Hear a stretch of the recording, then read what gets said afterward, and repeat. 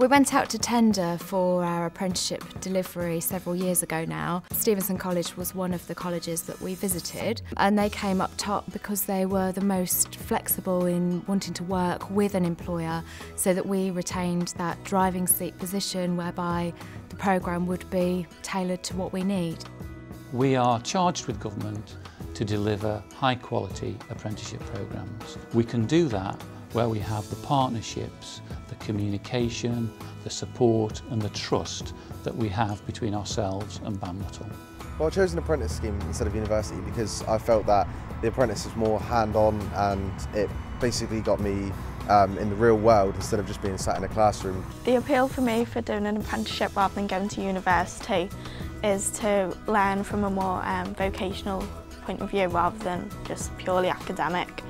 We made the decision to embed ICE technician membership within our HND programme and we're also looking at trying to embed into the programme technician membership of the Institute of Civil Engineering Surveyors to give it a professional feel and to also get our students used to working within the institution and to get them to meet people within the institution and feel part of the civil engineering community.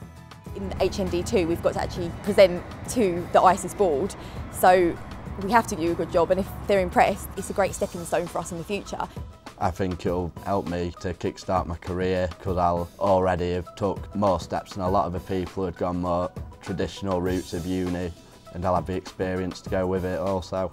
It's an award-winning programme and the fact that we've been recognised for all our efforts and hard work and the work we put into the programme is only going to develop the programme even further. Well, I'm at college doing uh, concreting, curbing and uh, scaffolding. And that's going to get me through my NVQ, which I'm doing next year for uh, the assessments. I'm learning all the time and uh, I don't have any debt, obviously. When I applied for uni, you also apply for the, the government student finance. So I now have four years worth of student debt to deal with. the idea of an apprenticeship, if I could have done it then, I would have done it. People think that it's a lower grade because it's not a BSc or a BEng or an MEng, but you get a lot of invaluable site experience working with the site engineers, section engineers and the foreman that you don't get at a university. It's not a B grade route, it's as good as having a degree.